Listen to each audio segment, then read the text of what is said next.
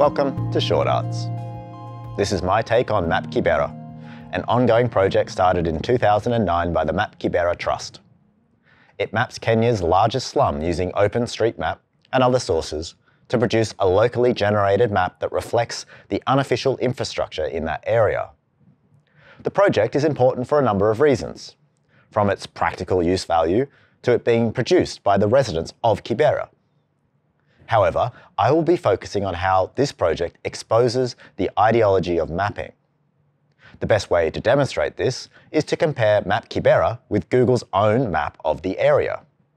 The difference is obvious. Google's map is a void, a shaded zone of indeterminacy. This zone is home to at least 250,000 people, and it's crowded with churches, schools, restaurants, and community centres. We can understand Google's void in a few ways. Let's look at it from Google's perspective first. In 2013, Google claimed its goal was to produce a perfect map of the world. At first glance, we can see that Map Kibera demonstrates just how far off Google is from achieving this goal. However, let's invert this and actually say that Map Kibera shows Google has achieved the perfect map of the world. Google's zone of indeterminacy of Kibera is perfect under the ideology through which Google maps. Google, as a for-profit corporation, makes its money by connecting people to businesses. The map for Google is a product of this capitalist relation.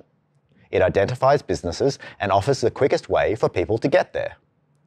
The perfect map is that which does this as efficiently and as accurately as possible. There are no official businesses in Kibera. There are no tourist attractions, no shortcuts for rideshare companies. In a very real sense, Google sees nothing. The power of ideology is that things can become invisible.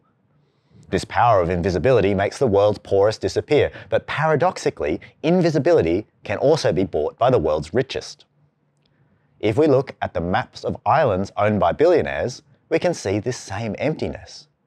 Here, Google voids these islands to preserve the privacy of its top shareholders and customers.